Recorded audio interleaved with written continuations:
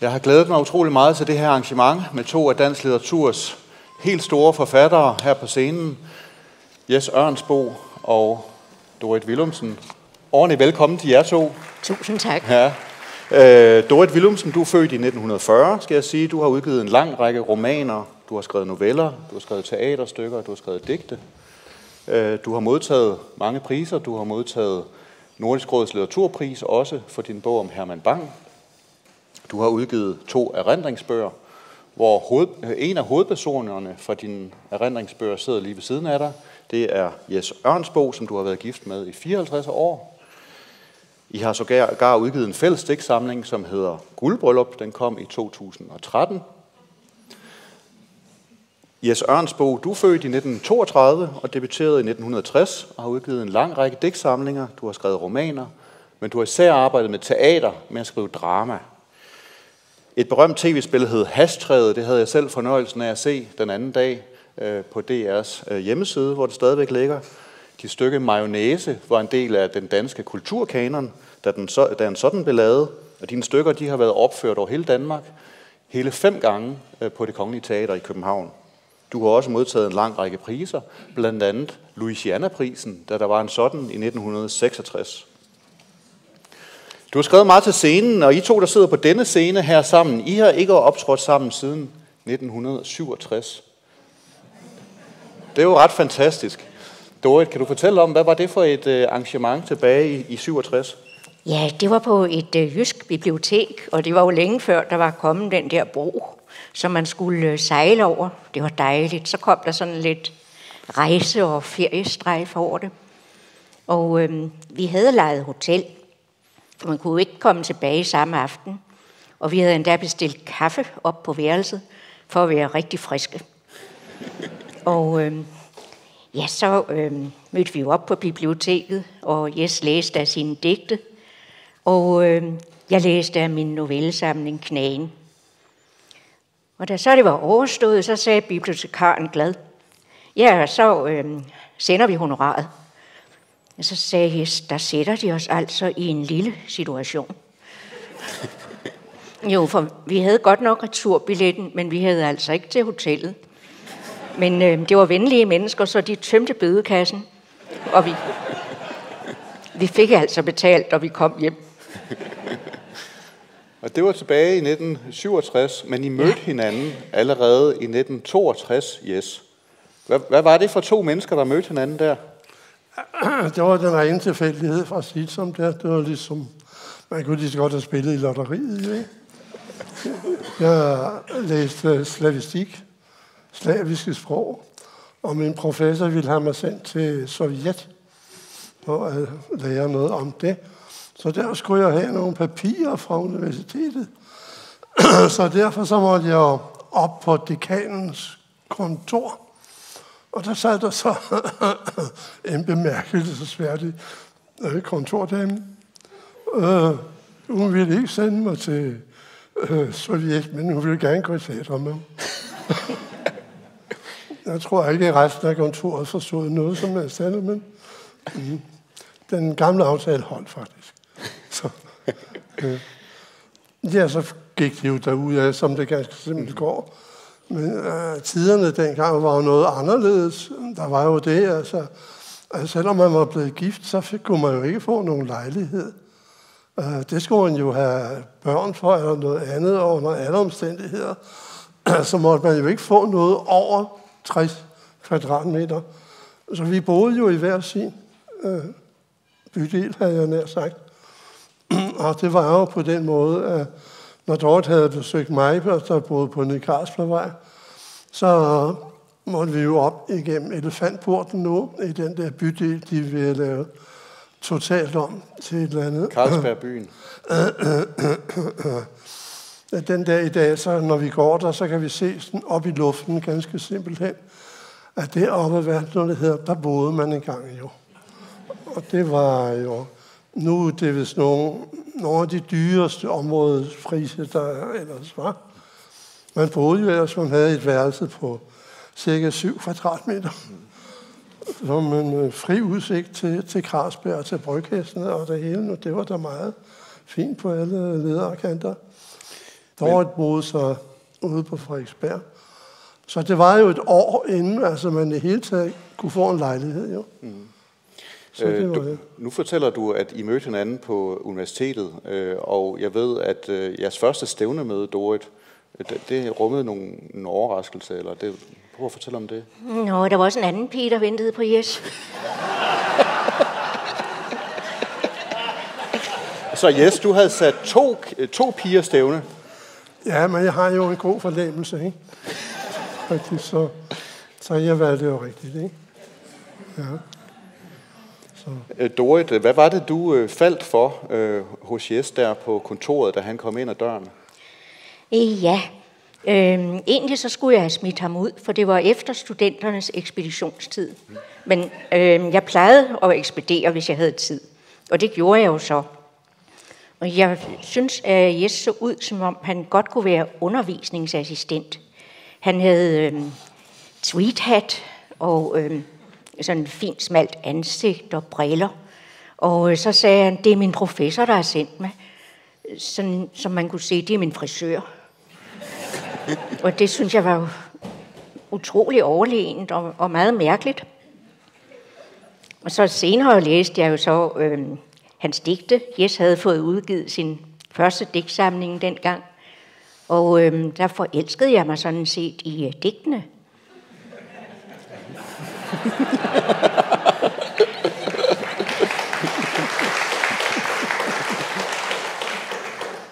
Og det skal vi heldigvis høre nogle eksempler på, nogle af Jesses digter, hvad det var, du forelskede dig i også. Jes, hvad var det, du øh, faldt for hos Dorit? Jamen, det var den lille pige med dot i øjnene. Nå. Basta.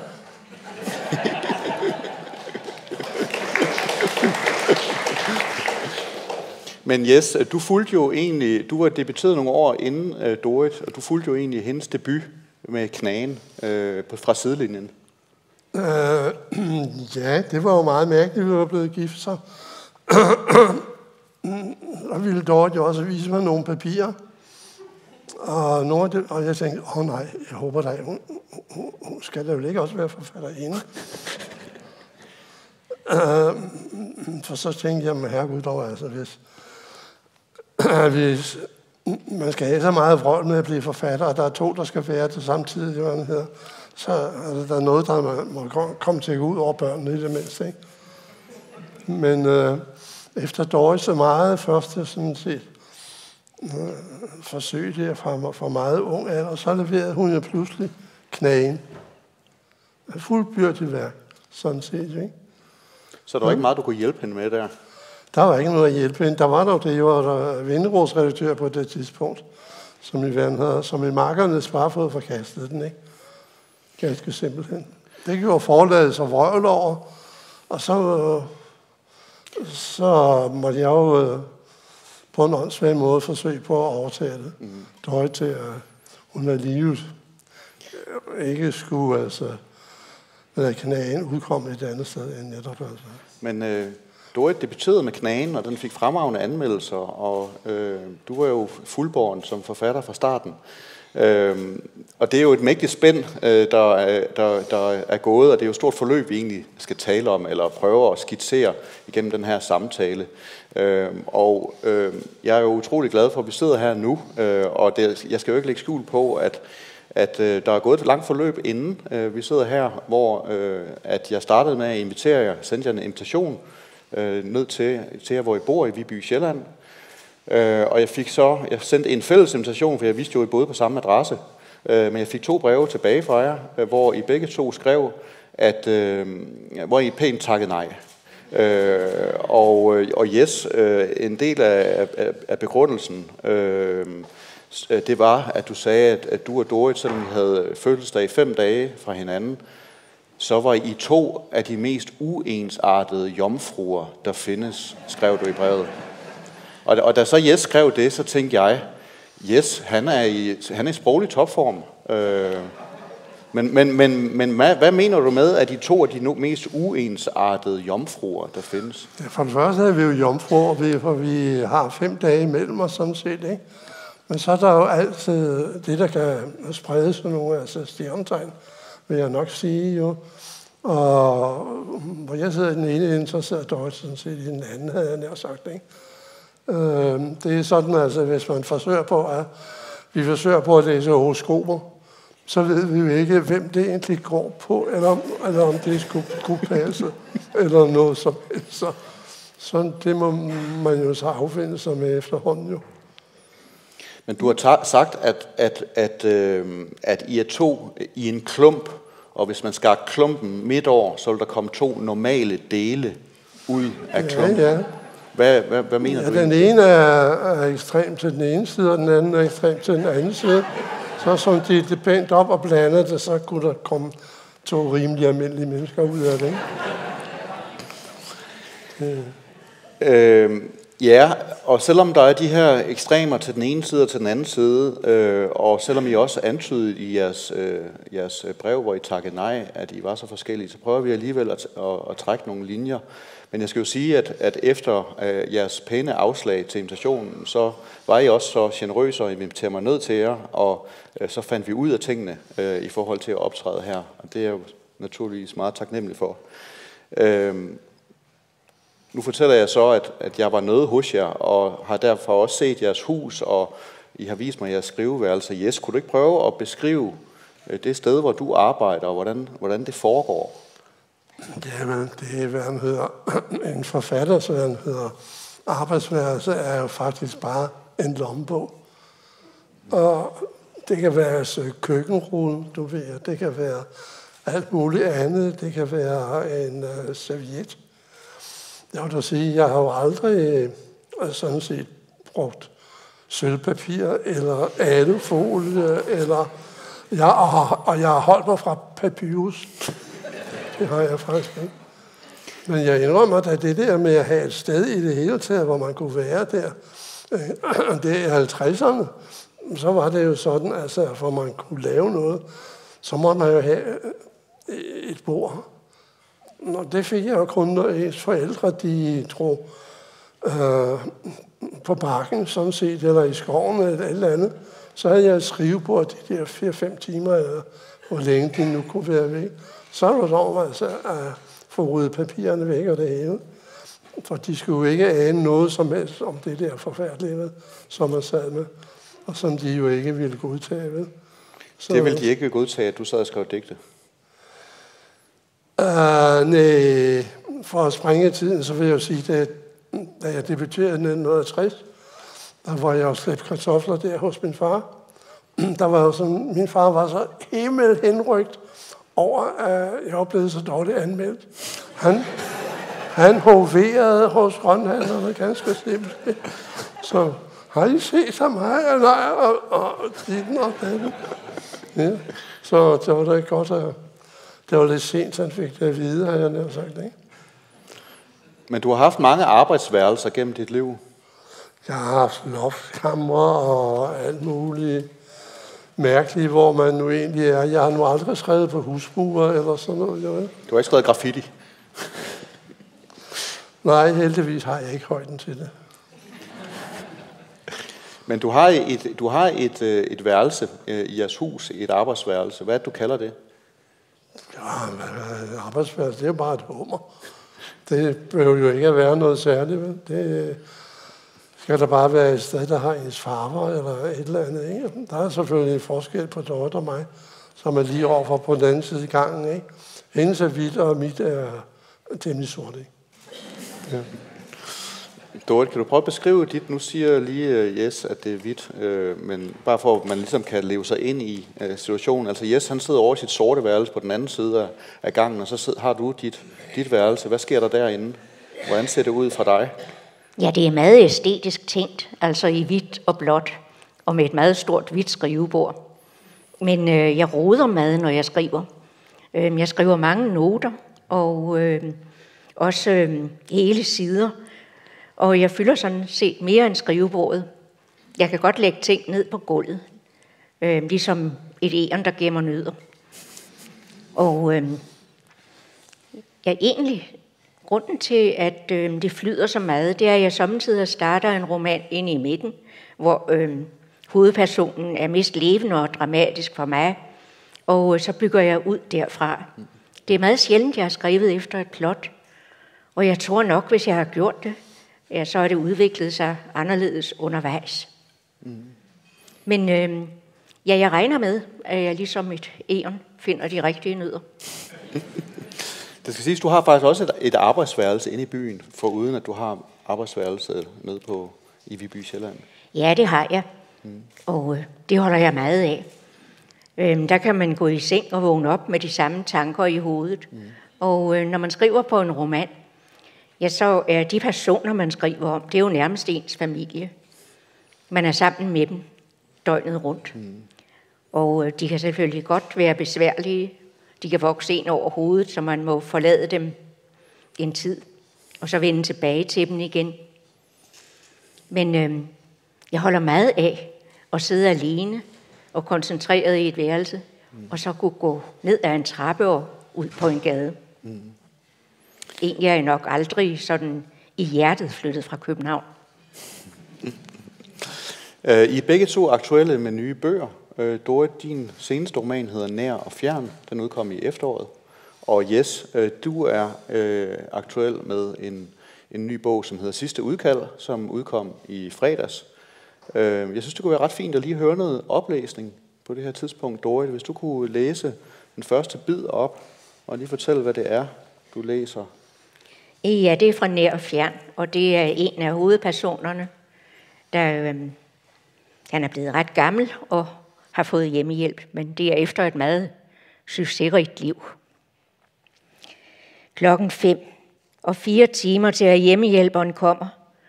Den bedste måde at slå tiden ihjel på, det er at sove. Måske kan han tælle sig i søvn. At der var Lu, og det var ham selv, Michael, og de fik to døtre, Simone og Michelle. Og der var skrevet inden med knappenåle mellem læberne – og små gyldne sko. Og der var en pige så fin som en hjort. Hun kørte bil, og hende fik han ikke. Men der var Lu, og hun blev hans livs dame. Og engang havde han lukket sin sekretærs læber med et kys. Bestemmer svin, havde hun sagt. Ja, hendes mod og vrede var betagende, og han sendte hende en multifarvet buket – men Lu gav han roser. Han havde givet hende alt, hvad hun ønskede, og alt, hvad han selv ønskede, og han havde troet, hun ønskede det samme. Men det havde ikke været nok. Og han havde elsket hende, og det havde ikke været nok. En flue summer om hans næse, og en myg har drukket af hans venstre øjenlåg. Der kan ikke være langt igen, Lu.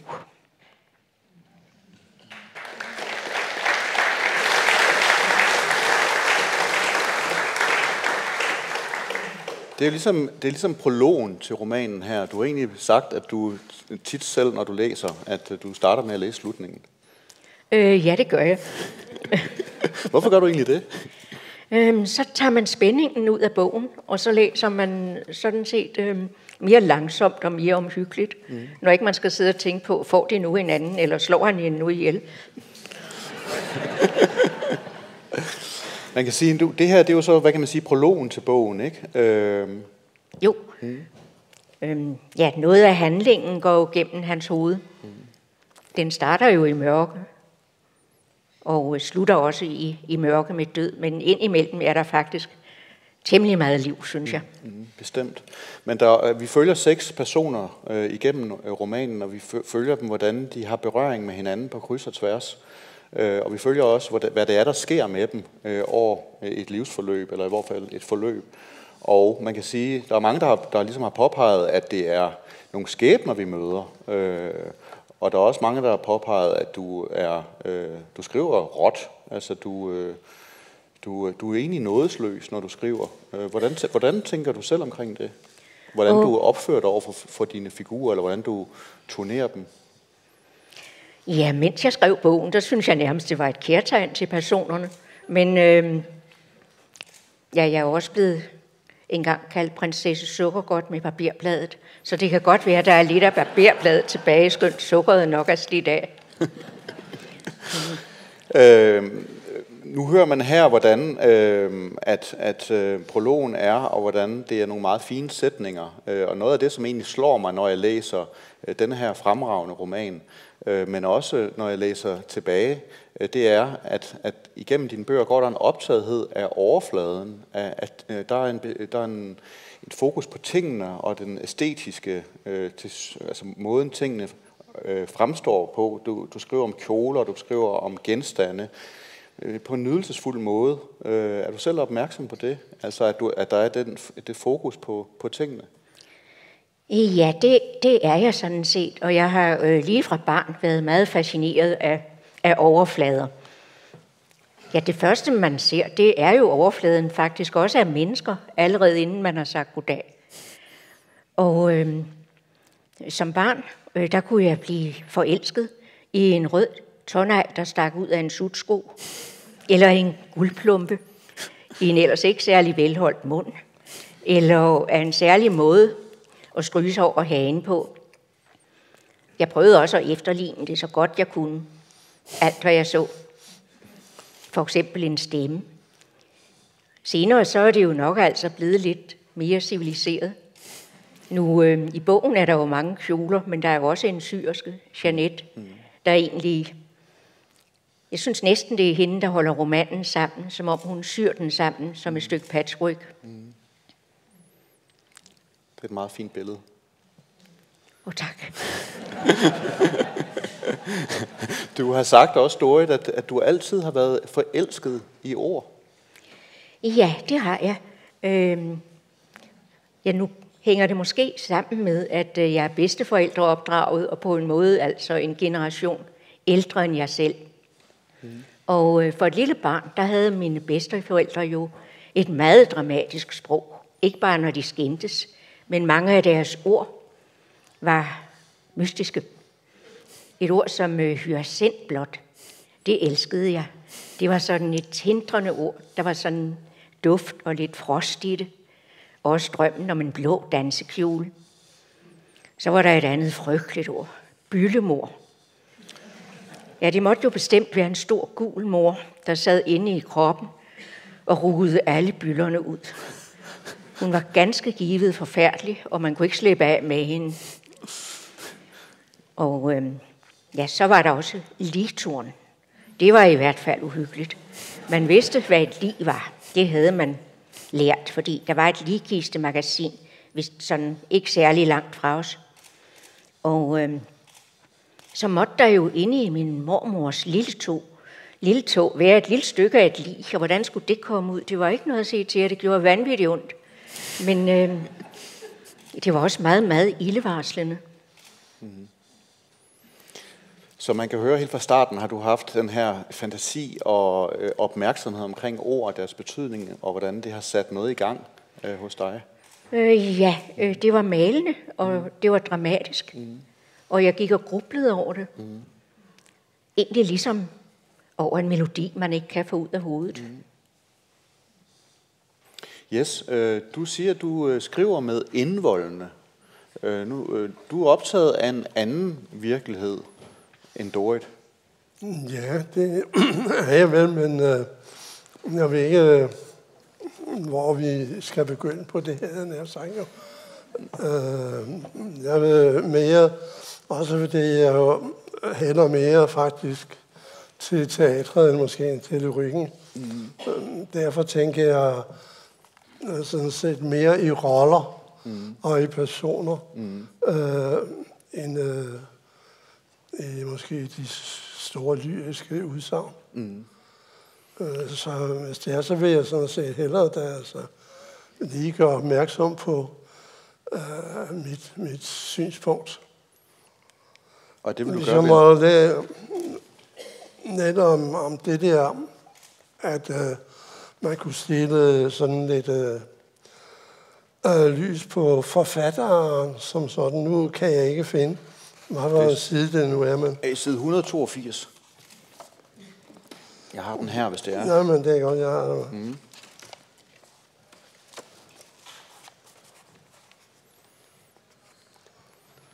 Men måske kan du lige, sådan, inden du læser op, Yes, altså det der med at skrive med, øh, med indvoldene, nu har Dorit lige beskrevet det der med, altså hun har været fascineret af tingene, og, og det, det med, at du har sådan et helt andet blik, du skriver fra.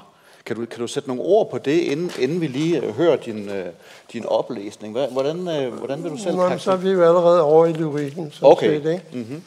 Øh, jeg må ikke opmærksom på, at jeg opfatter, hvad nu det hedder, lyrik, poesi og, og, og drama som temmelig to uensartede øh, størrelser, som, øh, for at sige det som det er, at øh, der, jeg synes, øh, meget ofte, også publikumsmæssigt, går der sådan en Berlinmur netop igennem den, den litterære kreds, og så den øh, dramatiske øh, kreds. Og det bevirker jo nok, hvad nu det hedder, at, øh, at det øh, samtidig med, hvad nu det hedder, at det gør lyrikken svagere af bestemte grunde, som vi kan komme tilbage øh, til, så øh, kan det jo også bevirke, at man øh, måske ser noget sløret på den dramatiske side. Men jeg vil gerne holde mig til så bare at sige forfatteren, eller som man siger, kunstneren, kunstneren, kunstneren. Pludselig bliver han vanvittig. Helt uaffordret under en forkølelse. Pludselig må nærme sandheden midt i en intet anende brændert. Pludselig må han se folk i øjnene, mens han prøver briller. Pludselig må han tale en sjovert midt under et samleje. Pludselig har han så mange problemer, at han begynder at rådgive andre. Pludselig elsker han sin kone, fordi hun er bortrejst. Pludselig elsker han børn, fordi hans egne er blevet voksne. Pludselig bliver han grebet af voldsom udlængsel, fordi han skal på toilettet. Pludselig føler han sig gammel, og det er hans hund får valpe.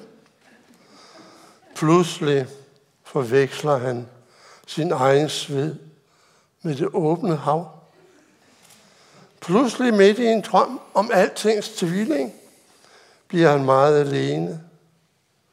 Pludselig midt i et ildbefindende, lader han sig udråbe til sig selv.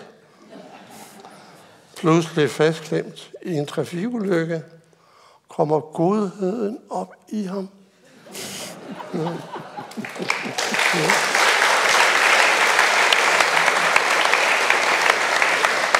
Ja.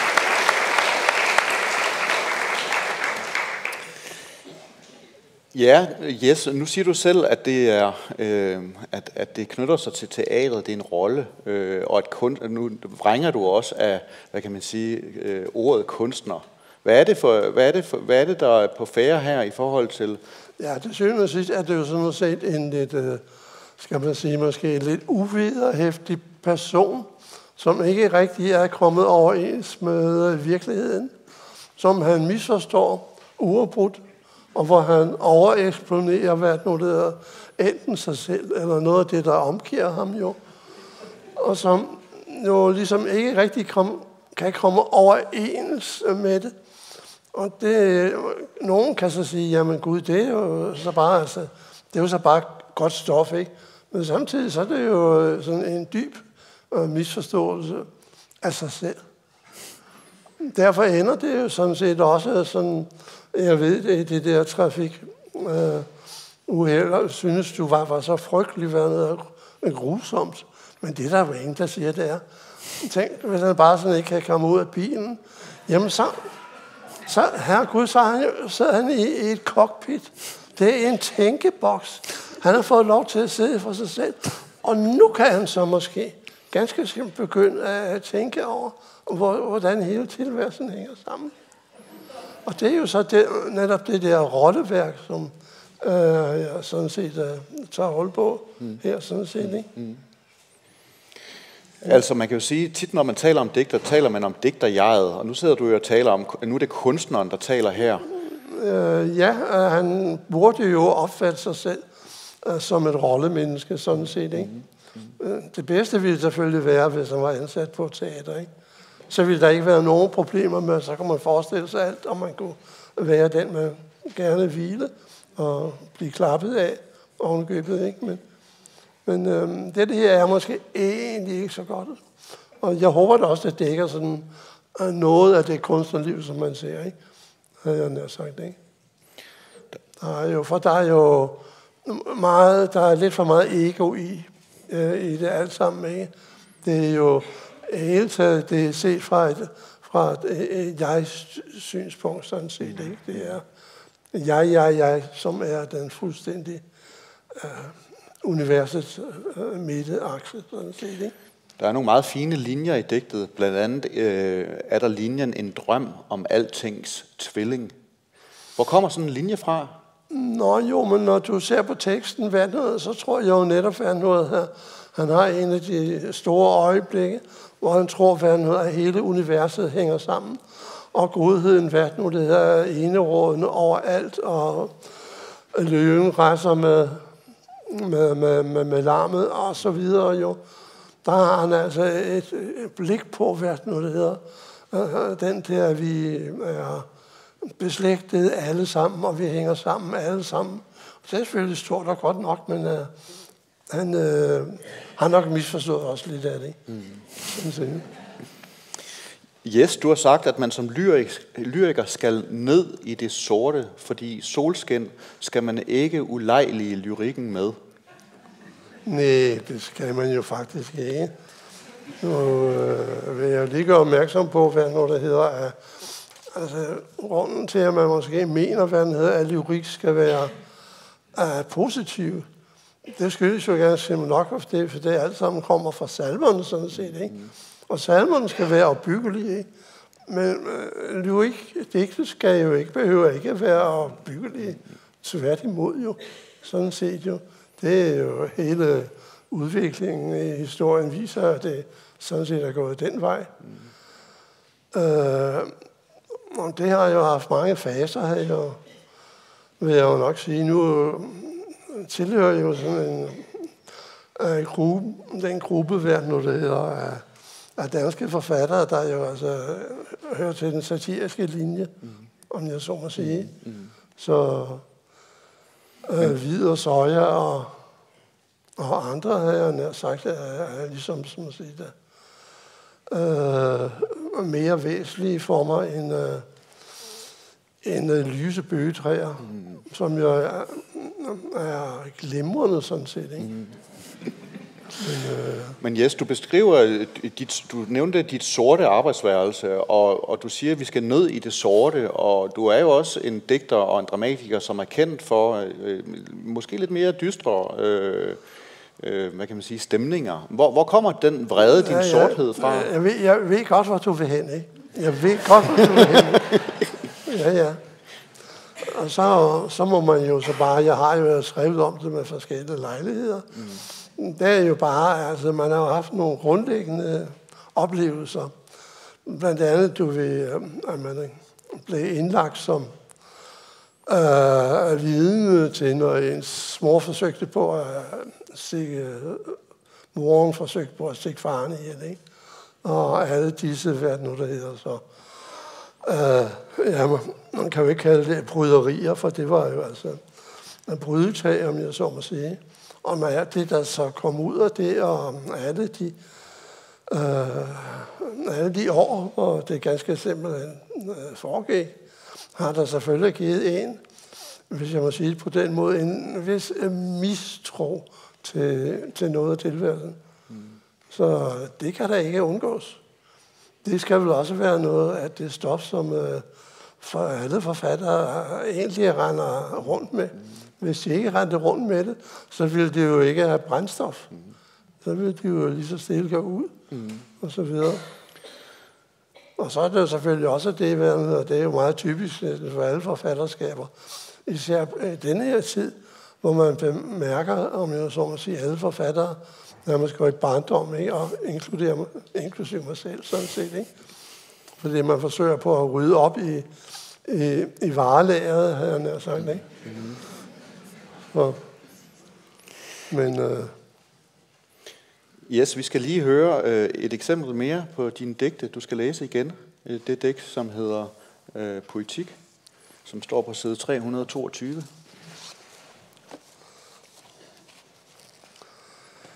Ja, det hedder poetik. Jeg går ind for de rynkede trompeter og nysenes befrielsesfront. Jeg tilbeder de dybe ar efter natcremen. Den smukkeste tatovering af blomstereksemen. Jeg tror på den ulige søvn og dynernes sjælevandring. Jeg går i regnormenes pels, og ordene falder som skæld fra kroppen. Frem mod det eneste, knogleskinnende, kunsten at tale nøgen. Ja.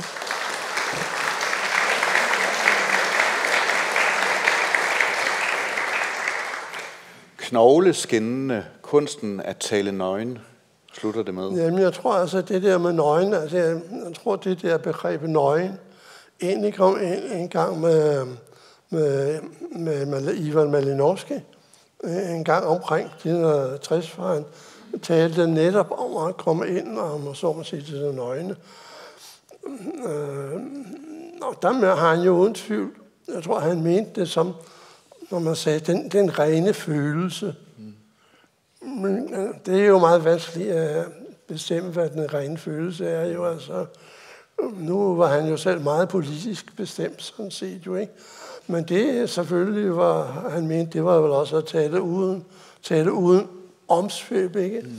Ikke at gå og skjule sig bag mm. forskellige, du ved, øh, forhæng af den ene og den anden art. Og, øh, men i videns forstand, så kan man også opfatte det som, hvad nu der hedder, at øh, også rent øh, psykologisk må man jo så altså lave en eller anden form for, du ved, at man må vise øh, sådan øjen, øh, og også fremstille sig selv som det, man er, eller især som det, man altså øh, tror, man ganske simpelthen er. Ikke? Mm.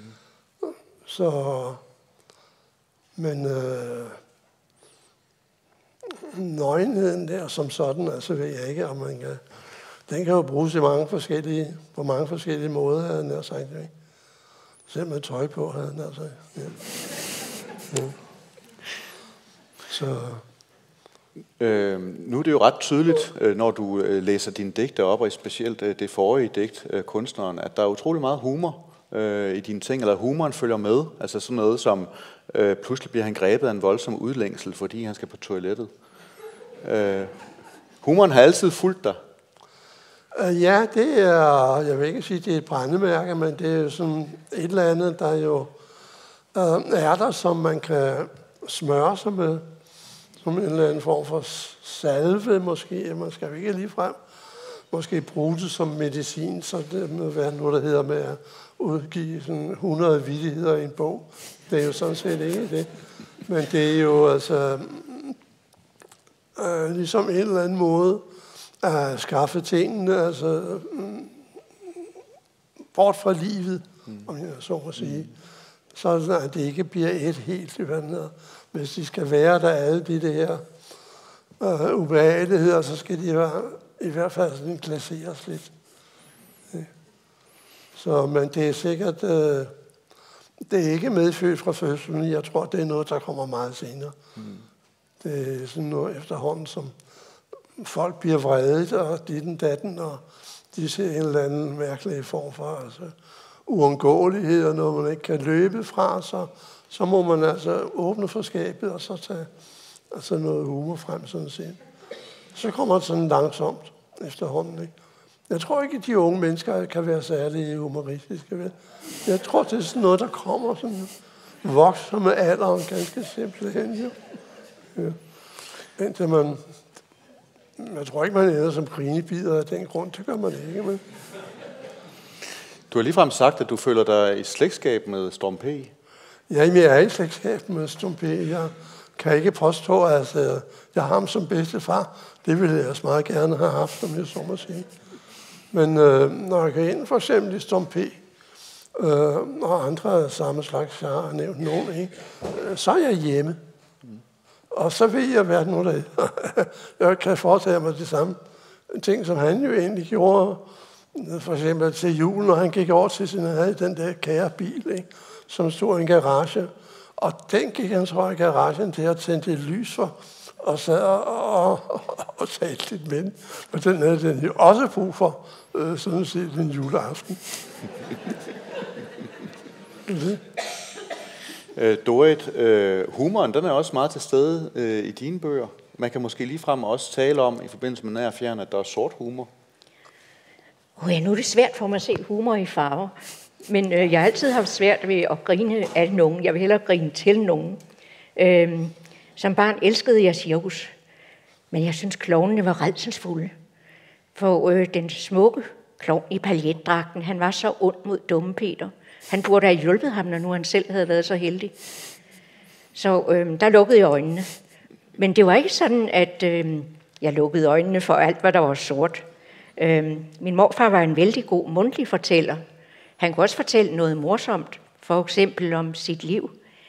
Hans barndom havde egentlig været utrolig hård, og øh, han havde tilbragt et øh, helt år på hospitalet i afdelingen for hud- og kønssygdomme, fordi han havde en lille bit skældet plet i hovedbunden. Og de troede, det var katteskab, der kunne brede sig. Ja, jeg tror, det er umuligt, man ville blive indlagt for sådan noget i dag. Men det blev han altså. Og øh, som ung, der havde han så sejlet 10 år under engelsk flag, og virkelig været rundt i øh, hele verden. Han havde oplevet utrolig meget uhyggeligt. Men øh, det er, vi sad i hans blå stue. Den var altså ikke direkte blå, men han røg så meget, så vi simpelthen var svøbt i røgringen. Og øh, ja, det han havde overlevet det hele, det gjorde jo, at man blev mere modig og tænkte, Nå, men kan man klare det, så kan man sandelig klare temmelig meget. Det var sådan set øh, en måde, synes jeg, at komme over det på. Mm. Øh, Dorit, jeg synes, vi lige skulle høre en bid mere fra nær og fjern. Ja. Ja, det er side 102 til 103. Michael betaler jazzorkestret. De fire mænd pakker deres instrumenter sammen. Men nogen danser videre. Andre sidder med glas i hånden og ser forelsket ind i hinandens øjne. En kvinde lider efter udgangen, eller efter sin mand. Michael ser efter Lu, men øh, hun må være gået ind. Kun havefakler, når de hvide blomster lyser, og jasminerne dufter tungt og sødt. I stedet fra mørket, der lyder en mands stemme, bevæget og næsten lige ved at komme over i gråd. Og det er så smukt. Du har gjort mig så lykkelig. Kan du lide det? Se, du kan lide det. Og lidt efter Lus stemme. Det kan kun være hende. Helt klar, konstaterende og en lille smule fornærmet. Ja, hvis det havde været isafkølet og med citron. Hun går ind i køkkenet. Han går ind i køkkenet og tænder lys og skænker et glas rødvin. Han ser ud på nødebuskene, kirsebærtræet og de høje hvide blomster, hvis navn han ikke kender. Ja, han føler en slags ærefrygt for det stykke jord. Og der har Lu knælet med et tilfældigt køn i sin mund. Og mens han hørte mandens stemme, så hun ganske sikkert drejede hovedet lidt væk og tørrede sig om munden med bagsiden af hånden, inden hun har taget sig sammen til at svare. Og da han vågnede, troede han et øjeblik, at han var blevet blind. Det var næsten mørkt, skønt han vidste, at han havde tændt de to pantonlamper, inden han evaluerede festen. Han øh, huskede alt. Ja, han havde betalt musikken og grillkokkene, mens de var ved at pakke deres brutale grej sammen. Og fadene med de udskårne frugter, de stod der endnu, lysende som juvelerne i Aladdins hule. Og ostene, at de skulle have været taget ind. Han lod hånden glide hen over en kølig, glat flade og konstaterede halvt i søvne, Øh, det var hans køkkengulv. Og hans hoved hvilede i en meget ubehagelig stilling og en ulidelig stank. Men han orkede ikke at rejse sig. Han faldt hen lige til solen bankede mod hans pande og afslørede, at han havde ligget med hovedet i kattens madskål.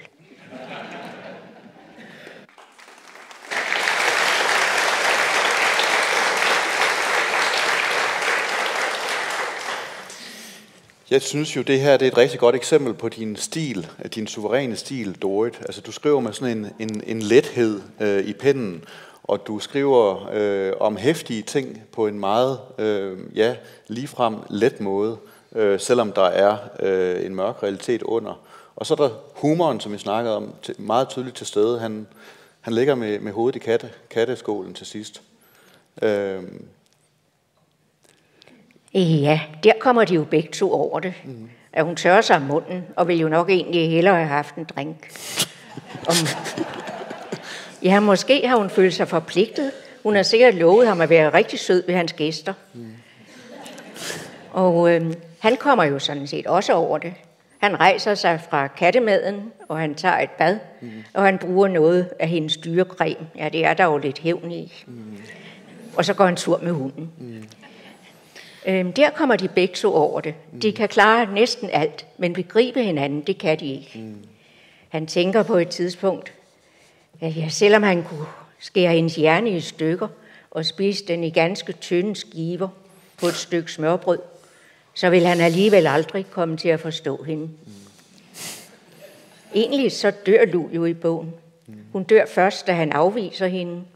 Ja, hun kommer ud til en firmafrokost, kun iført et par grønne sokker, fordi hun hader at gå i græs. Efter det, der dør hun, og øh, han øh, bruger jo så resten af sit liv på egentlig at prøve at forstå hende. Mm. Øh, Dorit, kan du tale om, nu, nu laver vi nogle nedslag her i den seneste roman, men kan du tale om, hvordan sådan en bog, hvordan opstår den i dig, hvordan starter den, hvordan, øh, hvordan tager den langsom form? Kan du sige noget om det? Ja, det er meget forskelligt fra bog til bog. Mm. Øhm, med øhm, den her bog, der er det tidsbilledet, jeg er meget fascineret af. Mm. Altså det for eksempel med swimmingpoolen og den store have, og festerne, hvor der er levende musik mm. og grillkokke og det hele. Mm. Der er sådan lidt øh, dollars og dallas over det. Mm. Og øh, personerne bliver jo også på en måde fanget af det. Mm. Så i øh, kvinderne er der faktisk temmelig mange splinter af mig selv. Mm. Jeg ligner Lu meget, mm. ved at have en så elendig stedsans. Og øh, ja, hun tæller kalorier hele tiden. Og øh, foretrækker museerne vine, for der kan man i hvert fald trække boblerne fra. Nu siger og, du der, undskyld. Nej, det skal du ikke undskylde. Øh, nå, nu siger du, der er flere uh, splinter af dig selv i det. Uh, men kan du sige noget om, hvordan sådan en romanfigur, uh, ligesom hvordan du skaber sådan en romanfigur? Det sker meget hen ad vejen. Mm. Altså pludselig kan der ske en noget, som man lige direkte kan bruge. Mm. Nu for eksempel øh, Lus mor, fru Petersen, der jo er en lille ældre skrabdame. Øh, der er der en helt side, hvor hun køber en seng, fordi hun skal på plejehjem. Og øh, den dialog mellem hende og ekspedienten, den er taget direkte fra et sengekøb, jeg selv lavede. Fuldstændig. Altså ekspedientens udseende og hans reklame for sengen med elevation og det hele. Og det, at han siger til hende, at nu må de altså tænke på, at det bliver den sidste seng, de kommer til at købe i deres liv.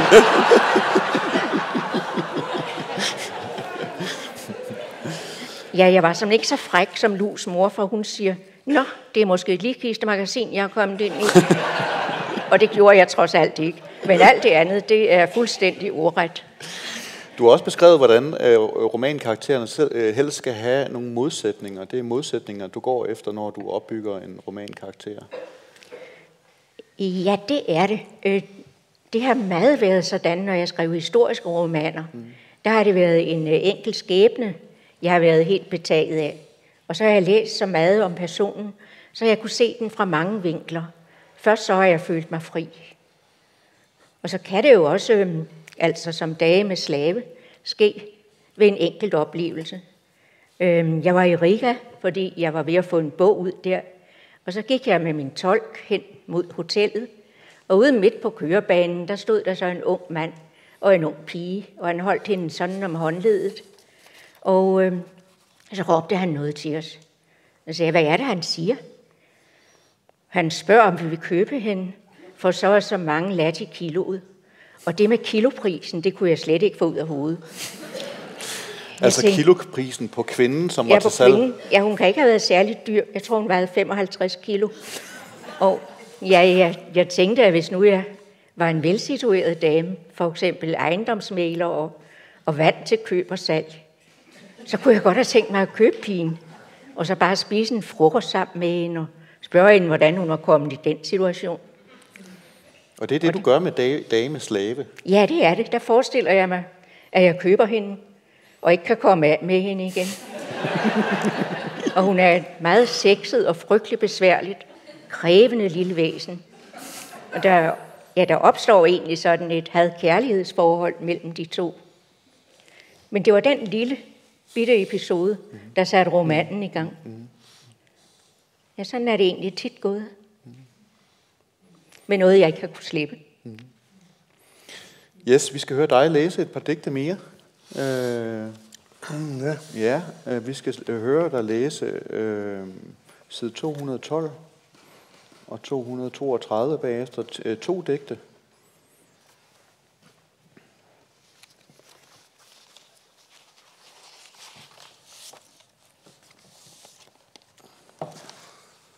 Ja, man kan måske sige, at det ligger lidt i forsættelse af det sidste, jeg læste op. Det er den der usikkerhed, øh, netop med de roller, hvem man er. Øh, I dette her tilfælde går det ganske simpelthen på udseendet. Derfor hedder det ganske simpelthen look. Et vist uvedkommende udseende har sat sig på mig. Jeg ved ikke, hvor det kommer fra. Og vi synes ikke, jeg har meget til fælles. Måske har det hængt fast fra en tilfældig forbipasserende. Man møder selvfølgelig folk, der gerne vil sælge et løsgående udseende, samt lidt ekstra hud. Og måske en enkelt reservelæbe og lidt mobil rødme. På den anden side har jeg aldrig mødt mit eget udseende, eller enkelte dele af det, så som et forenklet smil. Naboerne har heller ingen ledige udseender i øjeblikket, bedyrer de. Og de fleste af dem, jeg kender, ligger slet ikke inde med noget udseende – eller også tager de det ikke på, når de skal ud. Det er måske grunden til, at de er så svære at genkende.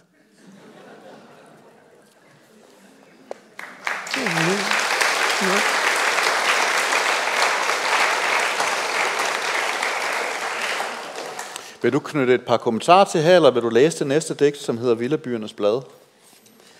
Mm, ja, det, mm, jeg tror jeg, går over til provins, sådan havde jeg sagt. Hvad har du nummer? Ja, det er 232.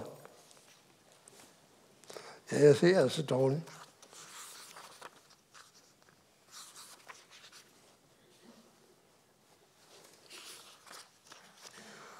Det er ellers et meget opbyggeligt digt. Og der hedder Villa Byernes Blad. En gang imellem vender min hjerne desværre tilbage. Jeg havde ellers efterladt den et sikkert sted ved stambordet? Nogen har måske lukket den ud på grund af den skingre lyde. Jeg kan faktisk ikke lide, at den følger efter mig. Den sætter mig som oftest i et yderst dårligt lys. Den skålen, slubren og skvalren passer heller ikke til trafikken. Og den råber af folk, så jeg ikke har nogen at tale med. Jeg har prøvet forskellige offentlige garderober, og omhyggeligt smidt beviset ud. Men alligevel kom den tilbage. Jeg bryder mig faktisk ikke særligt om at tage den med hjem. Hvad skal en hjerne også i en toværelses? Sove gider den ikke. Og evigt altid skal den overbevise mig om, at jeg er til. Jeg har prøvet i villabyernes blad under gratis afhentning, men forgæves. Jeg tænker med nogen skadefryd på, hvad den egentlig vil gøre, når jeg raperer.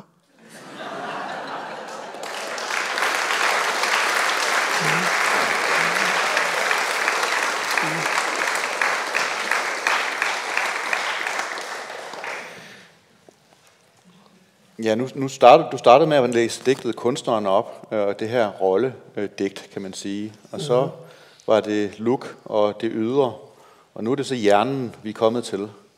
Ja, spørgsmålet er jo, hvor meget man kan stole på den der hjerne, om jeg så må sige. Om det er sådan et tilfældigt stykke tilløbende lem, eller sådan noget, der bare vi øh, øh, går rundt med og kalder den forskellige navne, havde jeg nær sagt. Uh, nu ville det jo være dejligt at vide en masse om det. Blandt andet hvis for eksempel altså hjernekirurger og andre læste digte, så kunne de måske finde ud af en hel masse. Men det at hjernen sådan set kan være et fuldstændig løsgående dyr. Ingen gang en hund. Og en hund har man sådan set altså måske altså visse tag på. Men den kan gøre faktisk, hvad den vil. Helt uafhængig af, hvad resten af personen sådan set kunne øh, have lyst til.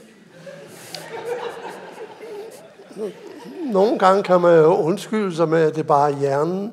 Men, men øh, det går jo faktisk ikke altid, jo. Men øh, samtidig vil jeg gøre opmærksom på, at øh,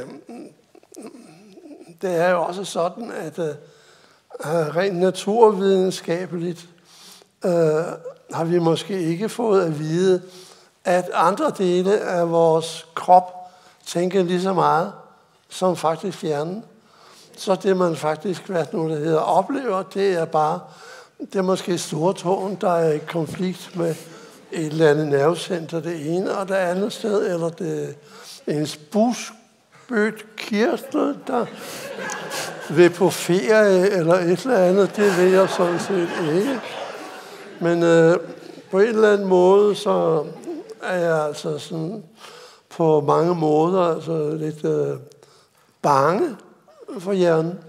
Også hvad den finder på, og hvordan jeg skal opføre mig, når den opfører sig, som den gør.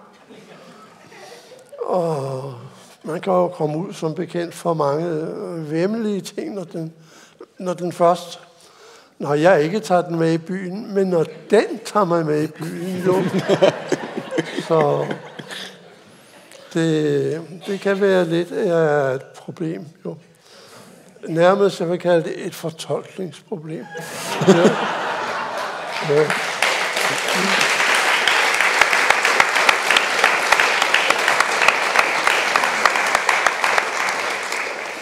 ja. Dorit, nu har vi, øh, nu har vi hørt øh, Jes læse smukt op af sin egen digte, nogle af dem.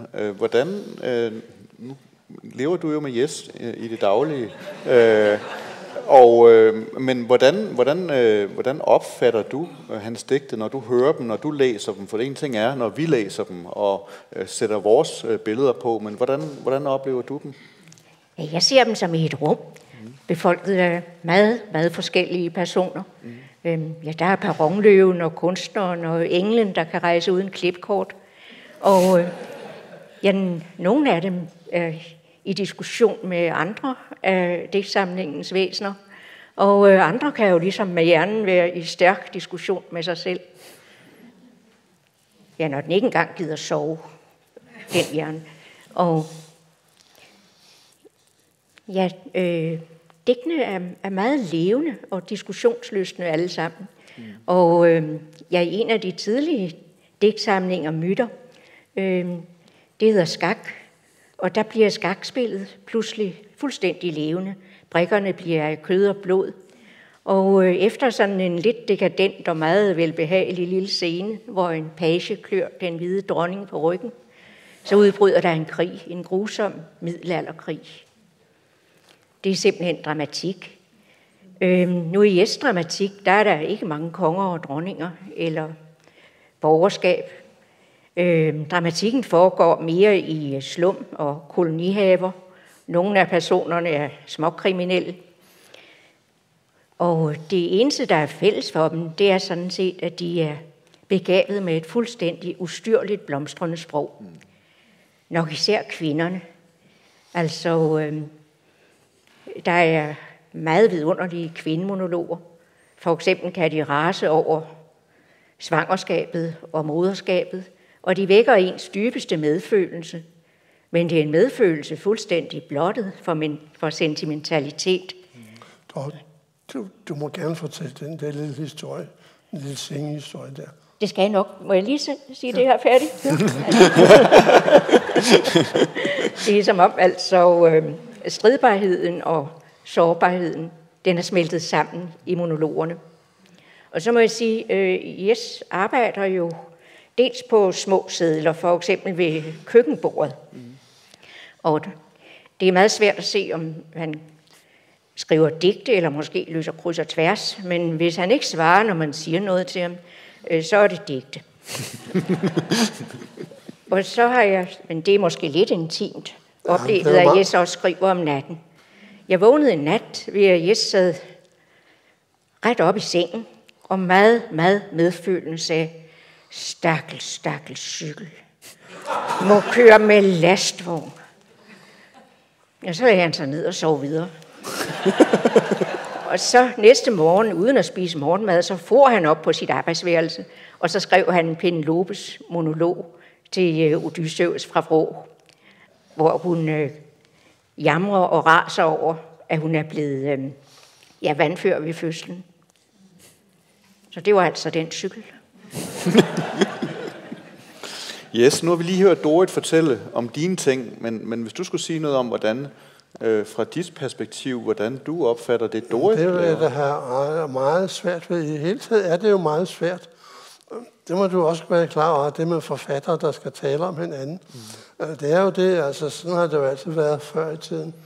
Når forfattere mødes, selvfølgelig også selvfølgelig ikke dem, der ligefrem havde hinanden med. Det eneste, man ikke talte om, det var sgu litteratur. Nu. For det havde man til dagligt til, i metermål. Ikke? Det måtte man gerne være fri for og så videre. Og selvfølgelig, så var det det selvfølgelig også. Man talte jo aldrig om en andens bøger, eller anmeldte dem, eller øh, noget som helst. Det var sådan en fuldstændig uskreven lov, for at man kunne omgås mm. i det hele taget jo. Hvis man først har...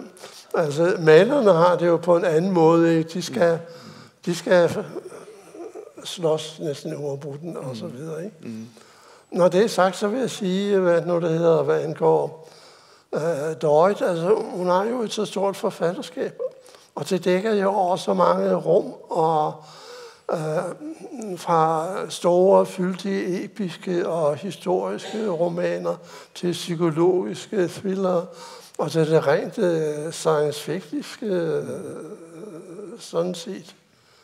Så uh, jeg vil dog egentlig sige, at uh, netop det der med rum, Jeg oversatte jo selv, hvad nu der hedder Bruno Schultz kanelbutikkerne.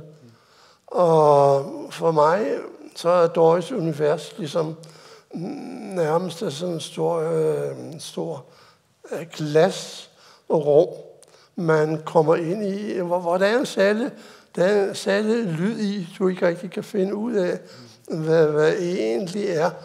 Øhm, og så har der jo været noget, der hedder, der er jo alle steder disse øh, figurer. Det behøver ikke engang at være figurer. Det, kan, det er ikke glas alt sammen. Øh, det kan lige så godt være, hvad der hedder, tøj, der optræder som glas, og ikke bare personer. Mm. Øh, samtidig er der altså den her lille mærkelige lyd af glasklokker alle mulige øh, steder. Øh, man skal være ikke gå rundt og tro, at man skal tage på dem. Og så skærer man sig. Det er ganske simpelthen. Øhm, på den anden side, så er der jo også øh, øh, noget andet ved det der. Selv drømmene er jo sådan set i, i glas. Og det betyder jo ganske simpelthen, at øh, øh, den udvikling, der er i det, det er faktisk brud. Man hører brud på brud, uafbrudt.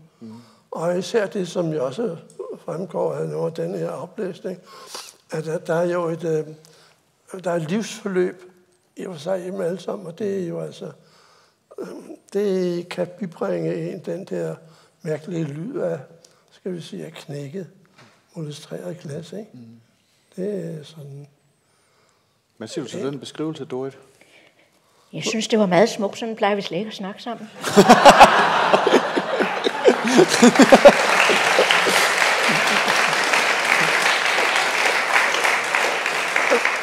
Resten er ikke tavshed, men litteraturvidenskab. Ikke? Men Jes, du har også sagt, at Dorits øh, prosa glider ind ligesom modermælk. Jamen, det gør den da. Den sniger sig ind, ikke? Modermælk, det er jo noget meget livgivet. Ja, undskyld, så har jeg, du ved, ja. Taler vi om store eller små bryster.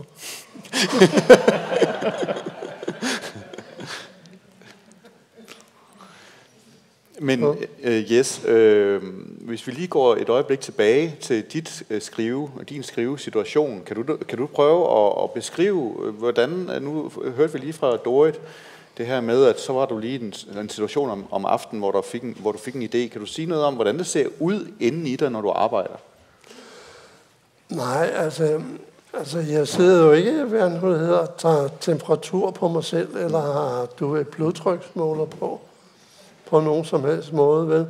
Og der er jo ingen rigtig, der ved, altså, hvad, hvad der sker med en. Det, man kalder skrive øjeblikket, jo. Nu er det jo nok meget lidt forskelligt, netop fra de forskellige genrer. Der er jo visse genrer, der hvad noget, der hedder, der ikke ligner hinanden. Mm. Altså, altså det episke. Øh, øh, prosaen, det er jo sådan en maratonhistorie, og, og lyrikken, det, øh, det er sprint, ikke? Mm. Øh, så er der jo også det andet mærkelige ved det, hvad der hedder,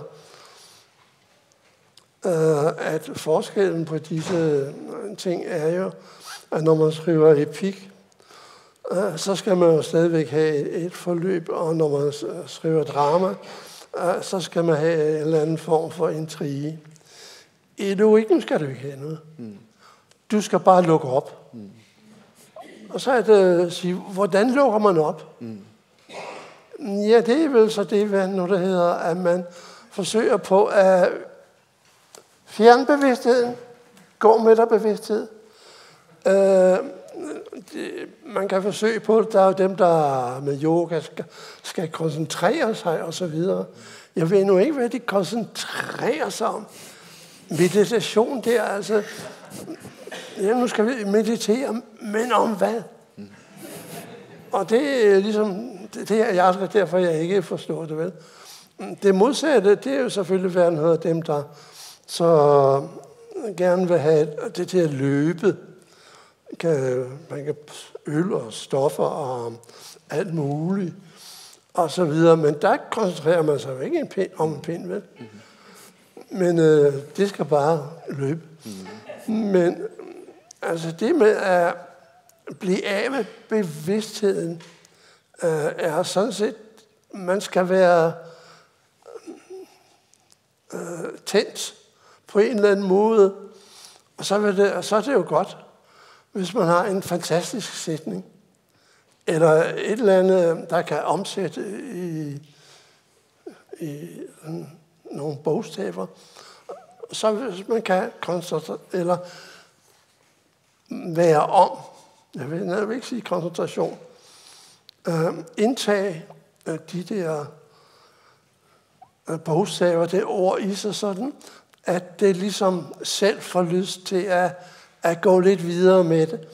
Hvad jeg, hvis det kunne få en søster, eller en bror, eller en familie, eller hvor kunne det så gå hen, ikke? Øh, det, er ligesom, det skal bare have lov til at være sig selv. Og du øh, øh, må bare sidde og vente på, ligesom hvad nu det hedder, er der nogen, der finder ud af det, mens jeg bare sidder her mm. på den ene eller anden måde. Men det er netop det, at give slip på sig selv. Mm. Hvis man ikke giver slip på sig selv, så, så søger man jo efter nogle skemaer og så videre. Mm. Og det er den der besøgerlige svæven, øh, som jeg egentlig, øh, som kan gøre, at jeg elsker den lyrik, øh, som man øh, kan læse mellem linjerne. Ikke? Altså nogle sætninger, der kan fortælle verden, når det hedder, ja, ja, vi er leder der på vej, og så videre. Men det er det, der sker mellem linjerne, som egentlig er det væsentlige. Ikke? Øh, Dorit, øh, dine øh, to bind erindringer, der er der det ene bind, står der meget udførligt om beskrivelser af Yes, og det næste, du skal læse op, er faktisk en bid, hvor Yes optræder. Det er fra Pligten til Lykke, side 220. Jo.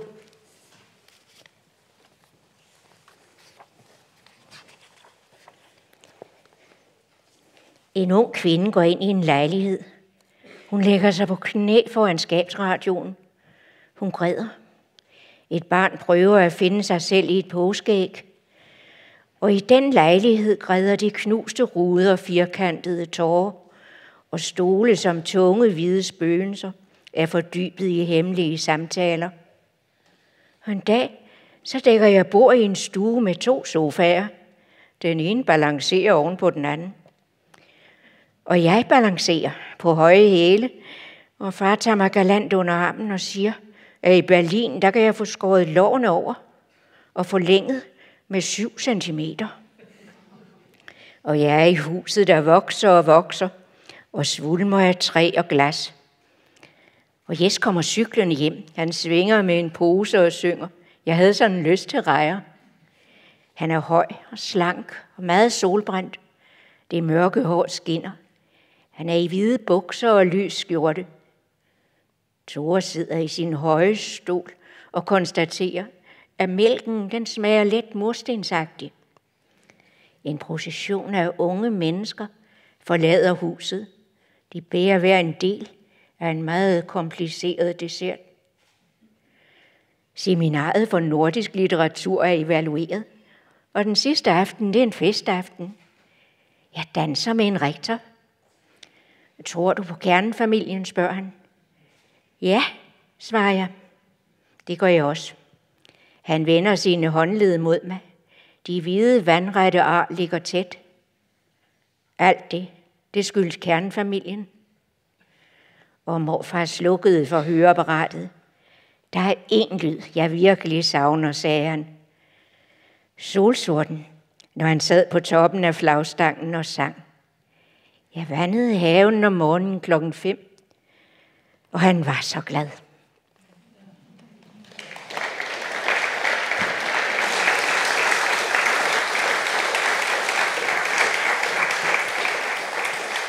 Yes, nu, yes, nu dukker du lige op her, øh, i, som et glemt, i det her, som den her flotte mand i det hvide tøj. Ja, jeg er svært ved at genkende hun. Og jeg har aldrig været sort hår. Så det var naboen, hun har tænkt på. Nej, nej. Men øh, der er også nogle passager i bogen, som skildrer øh, dig på en anden måde. Altså, hvordan har du det egentlig med øh, det, det, Dorit har skrevet om dig? Øh, hvordan har du med at blive beskrevet af Dorit? Ej, jeg vil sige, noget af det, hvor vi virkelig ligner hinanden, som to dråber vand, ikke? det er, at vi ha- havde begge to svigermøder.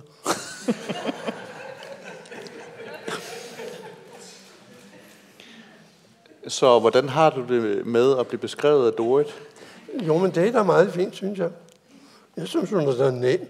Det er da ikke noget som helst slemt på nogen. Har der, der har ikke været noget tidspunkt, hvor du har haft det svært med noget af det, Dorit har skrevet om dig? Nej, jeg kan ikke se, det har sådan set ravet ind. Du ved. Eller, um, Dorte er jo nemlig ikke satirisk, vel? Det er hun jo ikke. Hun er jo ironisk. Sådan set, det er, det er jo stor, en stor forskel mm-hmm. mellem os to, havde jeg nær sagt, ikke? Så, Dorit, har du kunne genkende dig selv i nogle af, af Jesses digte? Mm, Ja, det tror jeg, men jeg tror også, at hvis jeg spurgte ham, så ville han sige, nej, nej, det er en helt anden.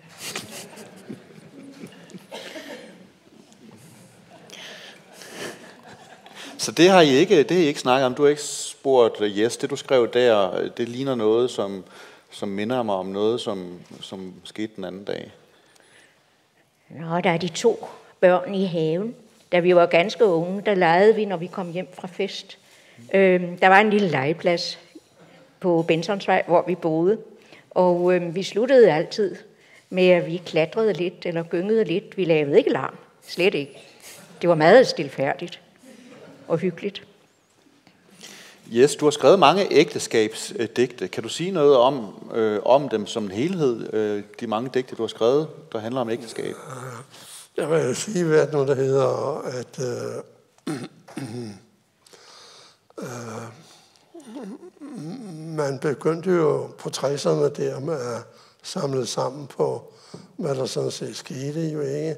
Og 60'erne var jo faktisk en temmelig vild øh, tid, hvor der hvor alting skulle prøves af, og alt nyt og så videre, og man skulle sandelig ikke og så videre.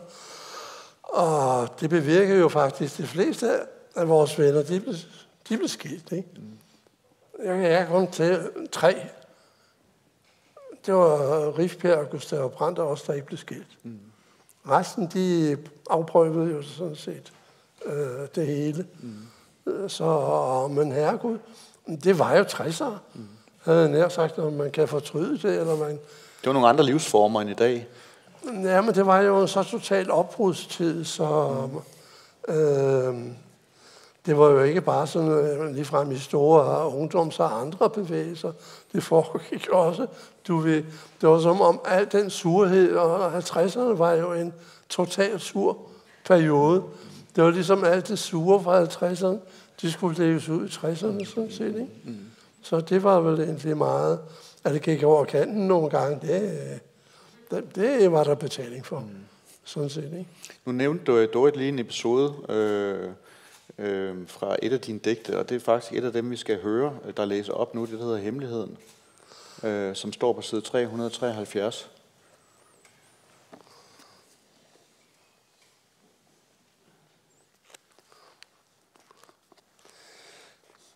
Ja, det er jo sådan... Det er jo sådan øh, et luftbillede, vil jeg sige, sådan nærmest, ikke? Det er jo sådan eterisk, havde jeg nær sagt, ikke? Og sådan hemmeligheden, ikke? Ægteskabet som en hemmelighed, som ingen må se, og, og ja, hemmeligheden. De sagde sig se sammen under tiden på offentlige steder. Postbuddet påstod, der var to, næsten ens navne. Besøgende talte om ansigter, malet direkte på væggen, og skygger trukket for vinduerne. Under tiden hørte en stemme skændes med sig selv. Ellers var alting blegt, som stjernernes kosmetik.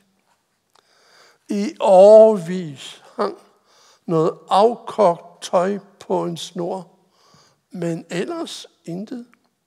Ingen blomster sigtende på forbipasserende. Under tiden blot en lyd, som fodrer nogen en anden med bly eller svære minder. Kun under hedebølger sås det. To mægtige børn i haven. Måske af forskellige køn. Slæbende løbehjul ud og glaserede bolde. Samt visse ultimative gyngeheste, mens de råbte på fiskene i dammen. Og hujene hujede af skyerne på den anden side af hegnen. Men dette var også det eneste, der tydede på et egentligt begyndende ægteskab.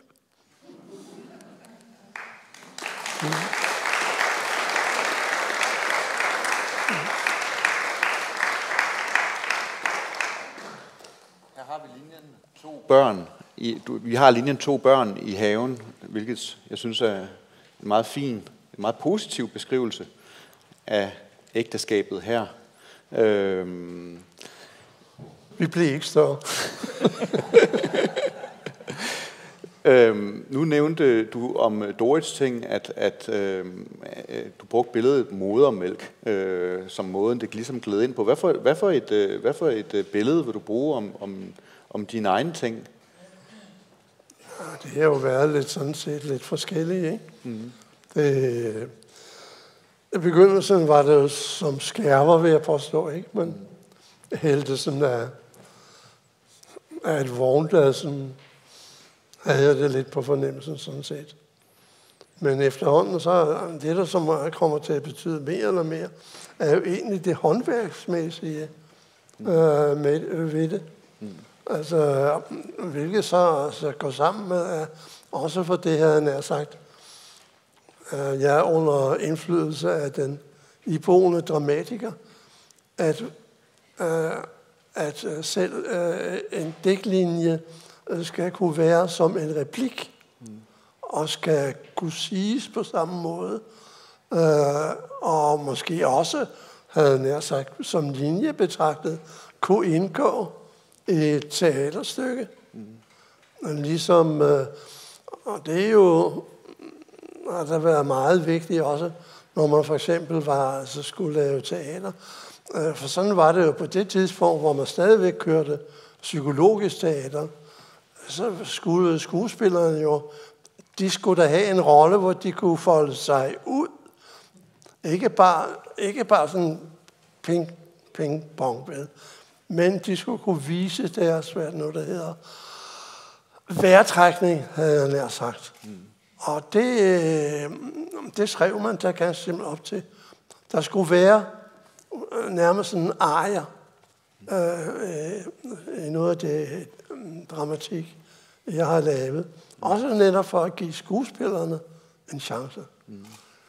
Omvendt så, hvad nu det hedder, er det jo også en fordel, at hvis man altså ligesom beholder eller har en talerytme, så kunne det jo også hjælpe øh, en lyriklæser ligesom med at komme bedre ind i teksten. Og, og det, på den måde synes jeg, det fungerer meget godt mm. øh, sammen. Og så er der jo også netop det, at noget, der hedder med, med det pragtfulde med dramatik, hvad der jo ikke er så meget i den moderne lyrik, det er, jamen Gud, i teater, der er jo mere end én person, ikke? Der er måske to eller tre, ikke? Men øh, hvorimod, altså meget lyrik her jo, altså ja, ja, ja, ja, ja, ja. Og så holder det ganske simpelt op der. Og så når man ikke længere til det der punkt, som jeg jo nok tror, man også har nået i lyrikken 2016. Mm. Øh, ganske simpelthen. Øh, den, ellers kunne man tro, man kan skrive på mange måder også lyrik. Ikke? Man kan sige fra Jeppe, Jeppe Aukær, så man kan lave øh, rimer, og man kan kører øh, køre heretika igennem, som næsten er lige så populær i dag, som den var i 50'erne. Øh, og man kan jo altså lave alle mulige, hvad hedder, andre spilopper med uh, tage en pose med, med A'er eller B'er, og så sprede dem ud over en, en side, og man kan i det hele taget lege sådan meget på alting, uden der er egentlig noget egentlig udtryk i det. Mm. Og der er det jo dejligt netop med, hvad den hedder, af, med, med dramaet, at der bliver man for eksempel nødt til, hvad man måske er lidt bange for, hvad den hedder i lyrikken, at sige, vi, jamen i dramaet, Gud, så er der jo to eller tre eller flere personer med, ikke? Det vil sige, den åbner således, hvad den hedder, at øh, den der øh, hervende narcissisme, der hænger over altså dagens øh, lyrik, hvad hedder, ville jo ikke være der, hvis, øh, jeg vil ovenkøbet sige, at det var sådan, hvis nogle af de unge lyrikere, der er jo egentlig, som man har set optræde på tv og så videre, hvis de altså havde hørt eller set sig selv, kunne de måske have tænkt på, jamen hvad nu, hvis jeg havde siddet ved siden af og sagt dig, hvordan du så ud? Mm. Så ville man måske have tænkt på, at man kunne se på sin egen person med andres øjne. Men det at se på sin egen person med andres øjne, den er meget ikke eksisterende, ganske simpelthen, synes jeg, i den nuværende øh, lyrik. Men den findes jo ganske simpelt. Det er jo derfor, det der, den der forfærdelige øh, narcissisme, det er jo blevet en ørkenforandring, ikke? Mm. Altså, totalt. Det. Men som sagt, det, øh, hvis man blandede øh, genrerne lidt, ikke? Men det kræver selvfølgelig også, at man skal tænke, ikke bare for sig selv, man skal tænke for sig selv i en sammenhæng. Mm. Og det er det med at få en sang her, sammenhæng, der måske kunne, det kunne knive lidt med. Mm. Blandt det ene og det andet sted, havde jeg nær sagt. Var det det, jeg skulle sige, eller hvad? Mm, det er jo meget, meget fint.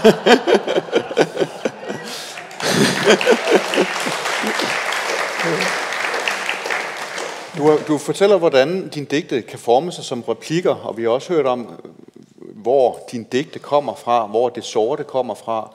Øh, der er en stor udtrykskraft i det her meget rigt blomstrende sprog, som Dorit også karakteriserede dine ting med. Øh, men du har også sagt øh, på et tidspunkt, eller du har sagt, at, at mændene i din generation, det er svært ved at tale om følelser. Ja, men den kommer ikke til den senere. Det er nu. Ifølge rolle. Nej, men jeg ville da gerne mm. øh, også bryde netop øh, disse, bare, bare med, øh, sagt med, med et nyt emne. Mm. Hvad med kvantespring? Jo, men vi kan, godt tage det, kvante, vi kan godt tage kvantespring, hvis vi skulle have det dæk med. Ja, for jeg synes, hvad det hedder, alderen er jo efterhånden et stort problem, ikke? Mm. Ikke mindst for de ældre. ja. Har du et sidetal per kvantespring, eller skal jeg give det til dig? Ja, du må gerne give det. Nu skal jeg lige se her, hvor vi har det henne. Øh, det er side 332.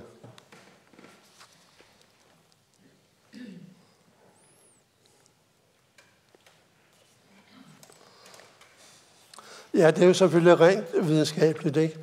For det drejer sig jo altså om kvanter, om små enheder, der kun kan være noget, hvis det sådan er samlet netop i den størrelse. Kvantes, kvantespring.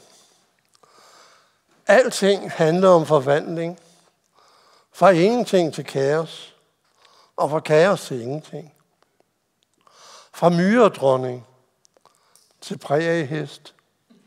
Fra skoletræng til minister. Fra den offentlige bevidsthed. Altid det samme der blot har skiftet køn. Fra sparebøsse til galeanstalt. Fra verdensmester til besætter af en hospitalseng. Grundlagenerne bevarer ligevægten. Alt, hvad vi genkender, er det, der blev væk i fjor. Barnet bliver kørt ned af sit legetøjstog, men dødsattesten siger, hvor med slag. Fra rustning til bikini, fra skudsværte til tandlæge, vejen frem og tilbage, er aldrig lige lang. Fra kærlighed til fugtige revolverskud.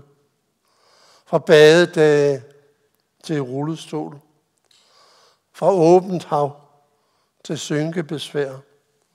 Fra forårsenge til herbarium. Evigt ejes kun det tabte.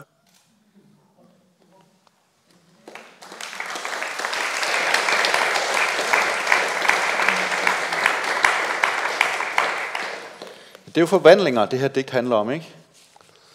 Ja, det må man sandelig sige, mm. du ved. Har du, nogle, har du nogle ord, du vil knytte til digtet? Uh, nej, det er, jeg vil nærmest sige, det er uh, fakta. Alt sammen jo. Det er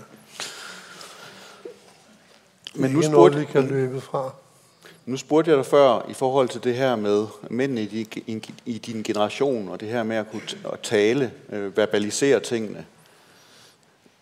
Det sted, du, den generation, du er vokset op i. Kan du sige lidt om det? De, øh, den måde, man talte om tingene på? Nej, talt om tingene på... Uh... Du har talt om det her med, at mændene har svært ved at sætte ord på følelser. Nå, nå, jamen det er jo et helt andet problem, som vi kommer til her, jeg sagt. ikke? Hvis det er jo...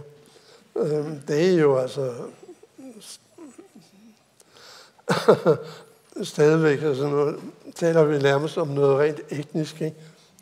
Øh, jeg har så prøvet mange gange jo.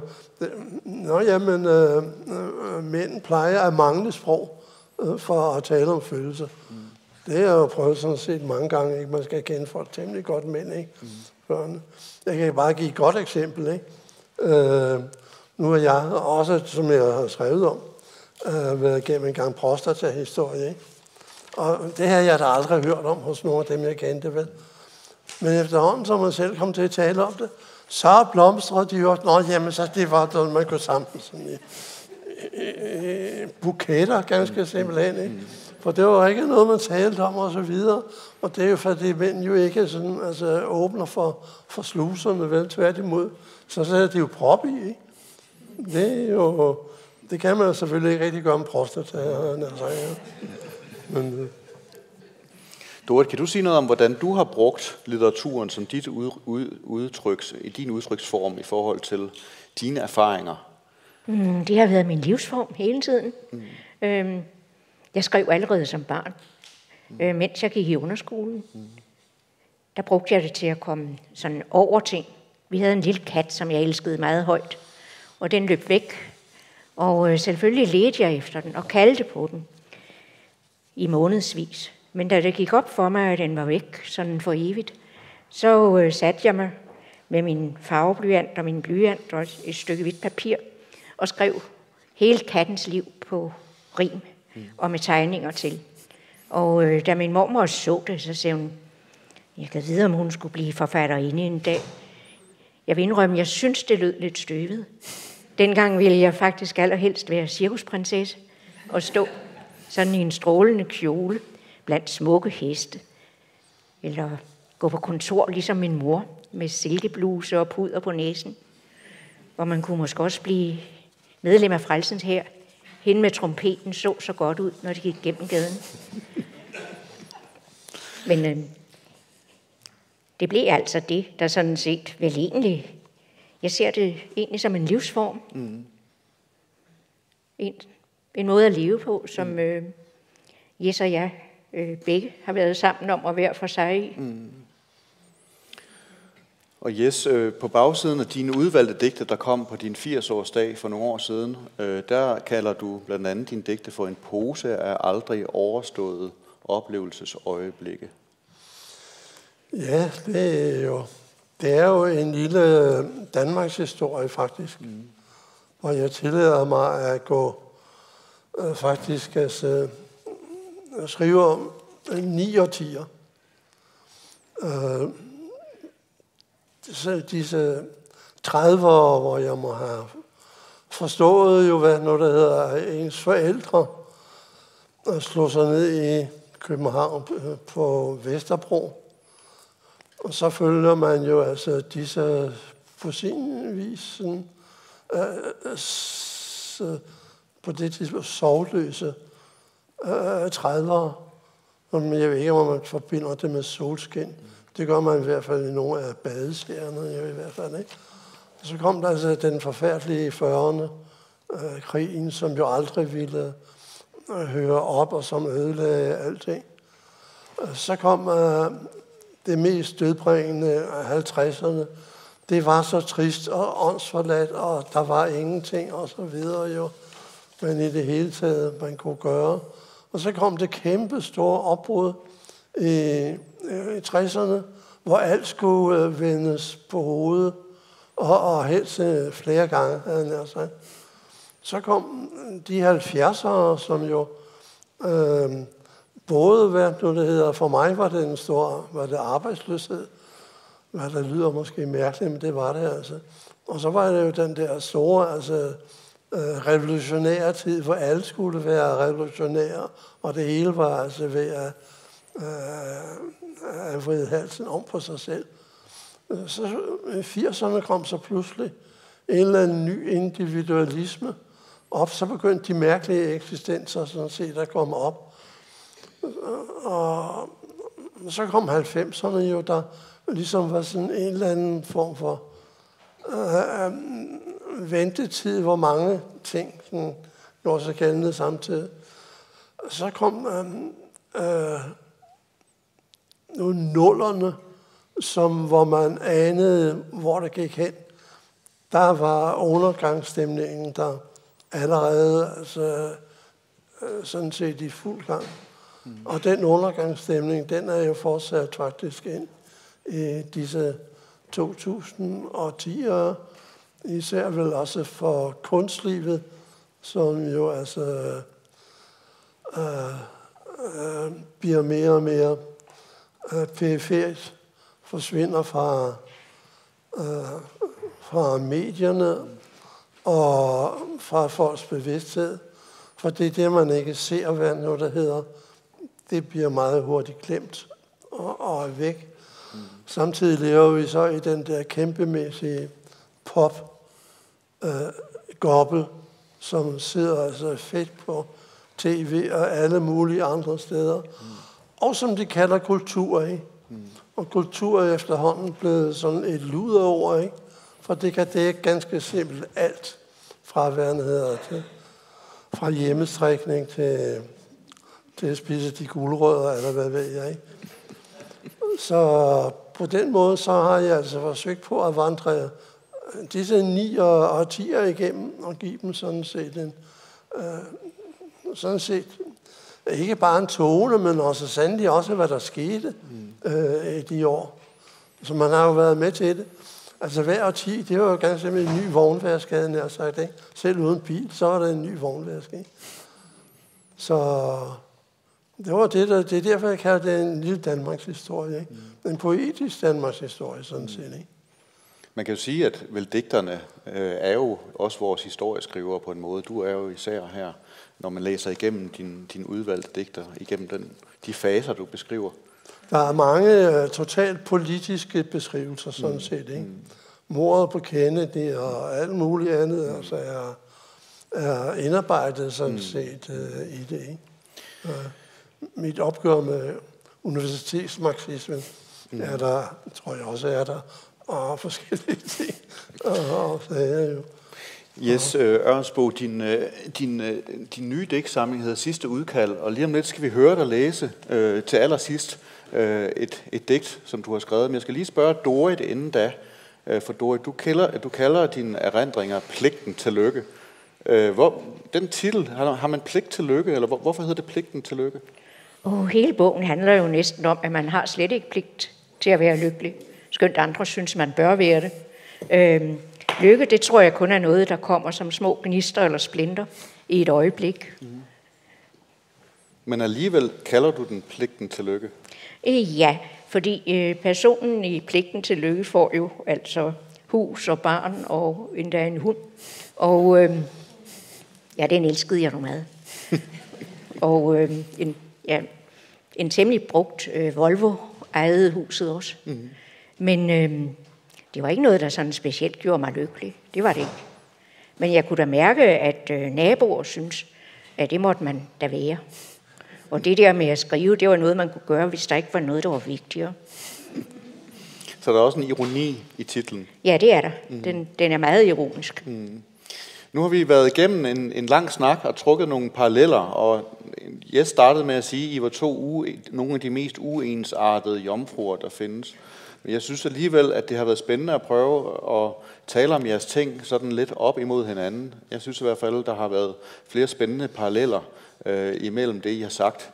Øh, Jes, du har lovet her til sidst at læse et stykke op fra ja. din helt nye digtsamling, der hedder Sidste Udkald. Ja, øh, må jeg have lov til at give øh, an, 10 andre linjer? Mm-hmm.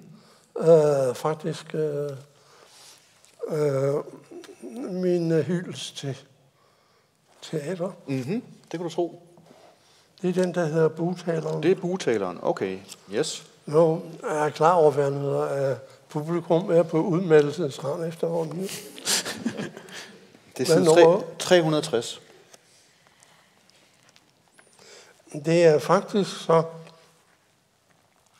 øh, nærmest øh, det omvendte af, af kunstneren, som jeg begyndte med.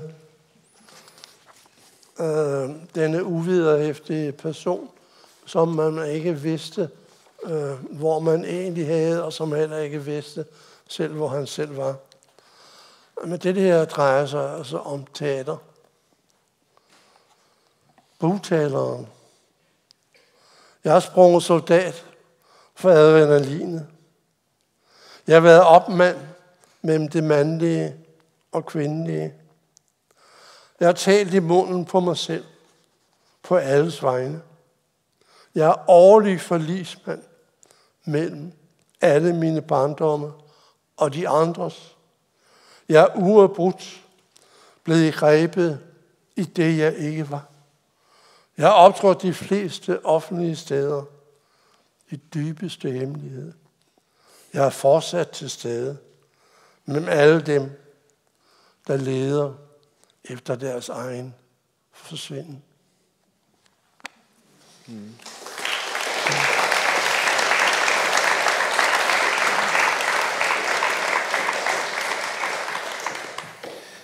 Det sidste stykke her, Jes, du skal læse op, du, det, det tog mig lidt tid at overtale dig, eller jeg tog ikke med tid, du havde lidt forbehold. Kan du prøve at sige lidt om øh, et par ord, inden du læser digtet? Yeah. Hvorfor det? Det er stadigvæk, den her, det der altså, lidt penible mellem øh, øh, far og søn. Øh, der er nogen, der har skrevet fint om det. Blendstrup for eksempel. Og det er en meget fin roman. Men ellers er det noget, der er vanskeligt at ligesom, uh, at forhold på. Uh, men øh, her i min høje alder havde han sagt, at det var så meget mærkeligt, at jeg ligesom bare ville have, have renset hjernen for noget af det, der åbenbart har ligget der som øh, ikke alt for godt materiale. Øh, og samtidig er det måske Øh, titlen er mig egentlig meget typisk øh, for det. Den siger nemlig, hvad den hedder. Jeg har aldrig talt med min far. Og det er så bare et, et faktum, øh, jeg kommer med. På den anden side kan jeg, kan jeg ikke selv fordrage det, så jeg håber heller ikke, I kan fordrage det. Så men, øh, det er sådan, ja. Jeg har aldrig talt med min far. Lys i kul og køn, men jeg kan ikke huske noget tidligere liv. Måske, måske var det en andens fødsel, eller forkert bestilling. Jeg blev født på snyd. Et skænderi måske, der vendte forkert. Man gemte penge under hovedpuden, ikke børn. Måske var det bare et ophårnet gardin, der blæste den forkerte vej. Under alle omstændigheder skriget den medfødte jordmor, hjælp mig ud. Det første tegn på fader var kakkeloven.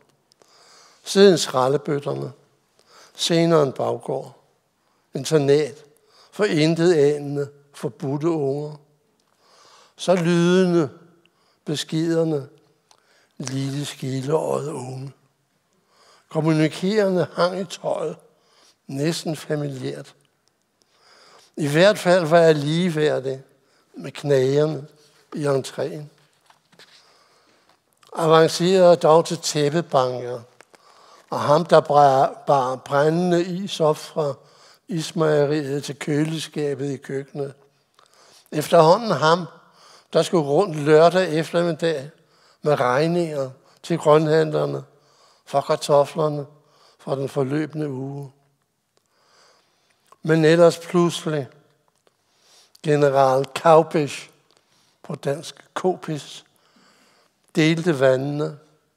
Havet flyttede ind som betalende lejre, selv i flueskabet. Alle ord blev mørkelagt. Samtalerne blev til mørke gardiner.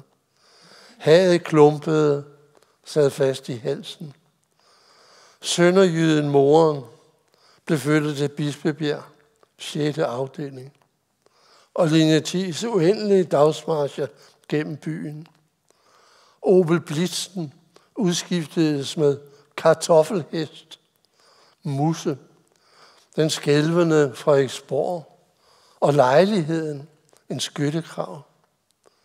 Faderen ferierede fra de befængte stuer, sov over hos en musse i garagen i Hedebygade. Hun kunne varme stallen op, hvor musene i den anden garage lå stive og stridende mellem de manglende kartofler. Og skolegangen værre. For sparingens skyld skulle jeg gå i min store søsters aflagte undertøj. Store, rosabrune underbukser. Næsten oppustelige, der flød ned af benet med lodden vrang. Jeg skulkede fra gymnastikken for at undgå skammen. Og ellers livet set fra en long john. Det eneste kontinuerlige, kartoflerne, de voksede op om nakken på mig, op på fire og ned i kældre med ondskabsfulde kokke, og resten i porten til nationalskala, den, forstop, den forstoppede sliske, hvor kalene nederst var mere interesseret i slagsmål, end at skovle kartofler op til skraldekronerne. Og ellers faderen, hun skulle sætte fire sække af der og fire kasser der. Det var rundhenterne, der lærte faderen, at jeg ikke var en hund. De lærte ham også rent pædagogisk.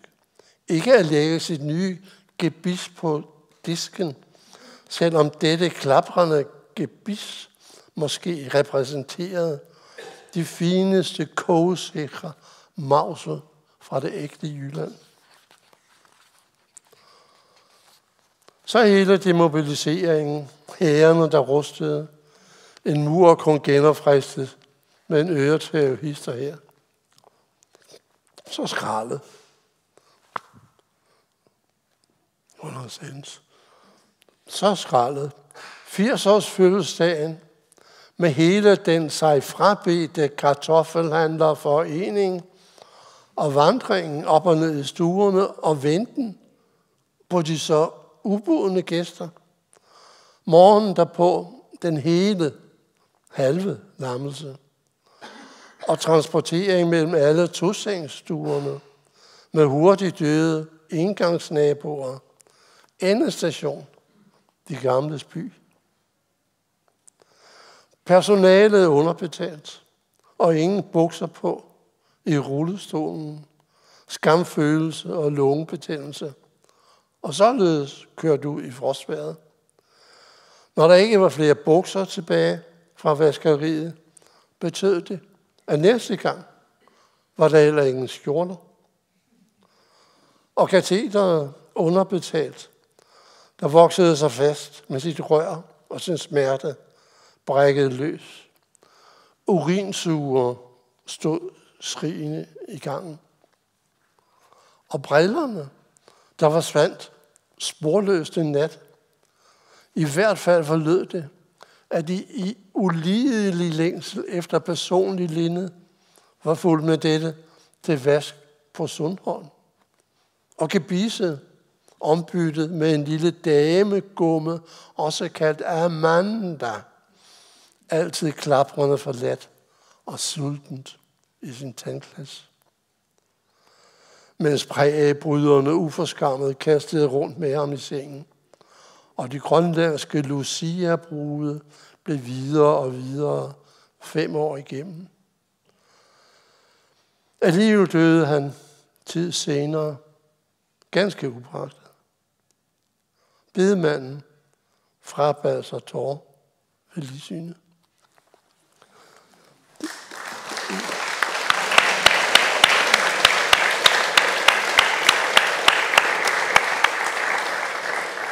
Ja, det var så min Jens Weimann. Jes Ørnsbo, Dorit Willumsen, tusind tak for i den her samtale. Tak skal I have for at komme og fortælle om øh, nogle små stykker fra jeres bøger. Øh, det har været meget spændende for mig at øh, gå igennem det mere. Tusind tak, fordi I lyttede med til det her, øh, den her samtale, som blev lidt længere, øh, end de plejer at være på festivalen, men det synes jeg bare var helt i sin orden. Tusind tak, og tusind tak for jer.